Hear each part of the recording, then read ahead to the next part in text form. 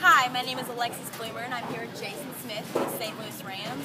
And every year you put on this youth event. Why do you do it? Myself and Tony Brackens and Keith Brackens, we put this event on. Uh, I can say for the youth, it's uh, for a foundation. We don't try to uh, take any proceeds from it. Uh, we're really grateful that uh, Randy Bloomer and, and Bloomer Trailers uh, helped us out as far as the trailer raffle. Little kid, I forgot his name, that won it.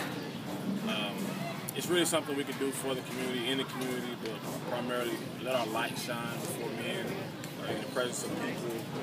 Uh, we're just basically just showing the love of God through our lives, through our actions, and what we're doing, and just let people be a part of what we're trying to do in the community. Awesome, that's great. And how did you get involved in the rodeo industry? Uh, I grew up inner city Dallas, so it's, it's really a long story how I uh, ended up riding horses and then team roping and uh, just over the years the Lord's just made a way for me where I've been involved around some people who do it.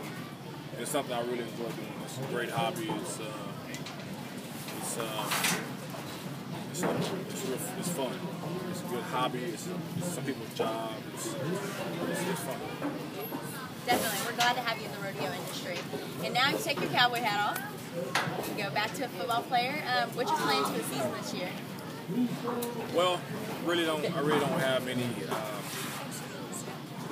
quote unquote plans, but I do have goals. My goals are to be solid, to be focused, to be persistent, to be consistent, and to be watchful in everything that I'm doing.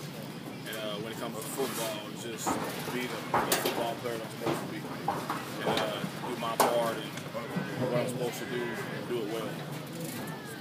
Well, that's all for today. Thank you, good luck, and break records. Thanks for having me, Alexis.